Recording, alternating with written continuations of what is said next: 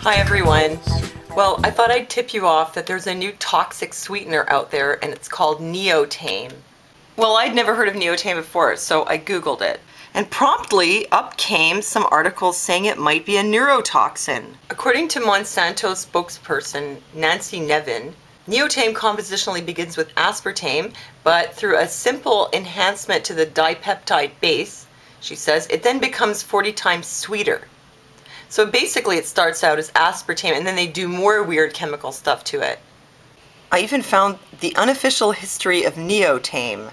Well, apparently, what happened was some guy who used to work for Monsanto was doing experiments at a secret military underground base on a new chemical weapon called neotox. And for some reason, he tasted it. And it turned out that it was really sweet. So they decided to make it into something that you put in your food.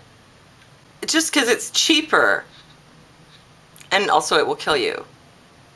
Well, this new neotame so alarmed Dr. Betty Martini, who's been a long-time anti-aspartame activist, that she penned an open letter to uh, FDA Commissioner Dr. Jane Henney, highlighting all the evidence that aspartame is a deadly toxin and that it causes brain tumors and neurological problems and, and a whole bunch of other nasty things.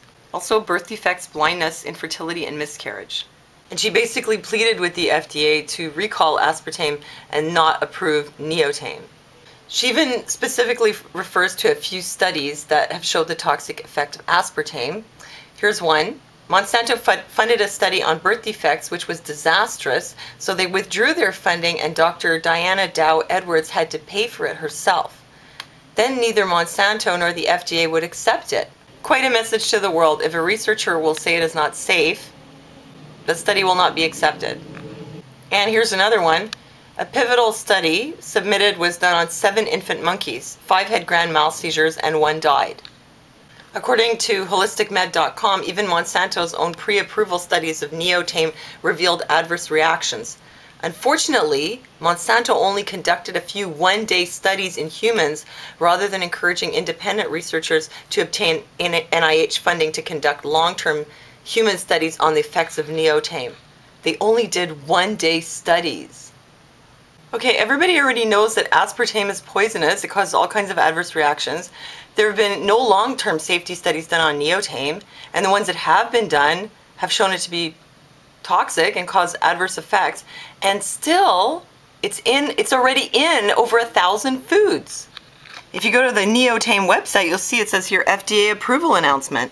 July 9, 2002, the US FDA announced its general use approval of Neotame as a sweetener and flavor enhancer this website refers to it as an exciting new flavor enhancer. And I bet it is exciting because it's an excitotoxin.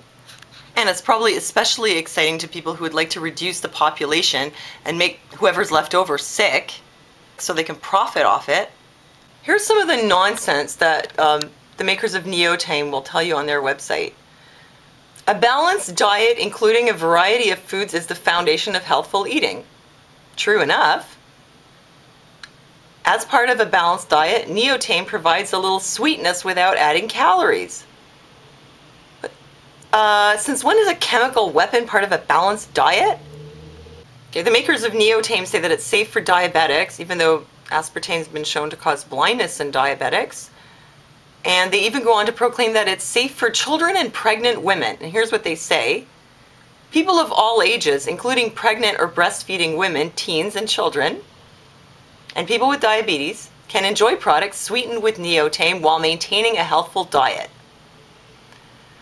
Well, that's a bit like saying, you know, people can enjoy crystal meth while maintaining a healthful diet. I mean, it's not exactly untrue, but, you know, it doesn't change the fact that crystal meth will kill you.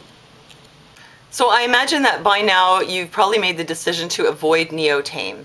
But here's the problem that because of labeling laws, if it's under 5% of the product's ingredient, it could be listed as natural flavors, like MSG and aspartame and things like that. The other day I went to the grocery store and I was looking at some Chinese um, sauces, like stir-fry sauces that I don't actually use, but I was I was looking at them because I used to use them.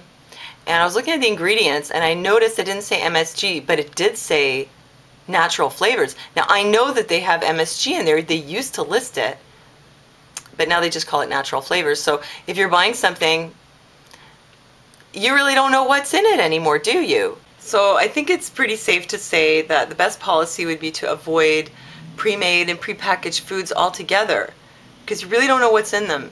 And you could be eating neotox. I mean, neotame. And I'd be willing to bet that neotame will kill you. Well, I gotta say though that it's getting really hard to, you know, eat well.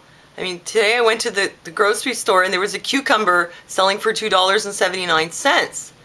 I mean, how can a cucumber be worth $2.79? But I bet that most of that $2.79 goes to pay the salary and the bonuses of the, the CEO of the, the Cucumber Corporation. Well, thanks for listening to me, and I'll see you next time. Girls.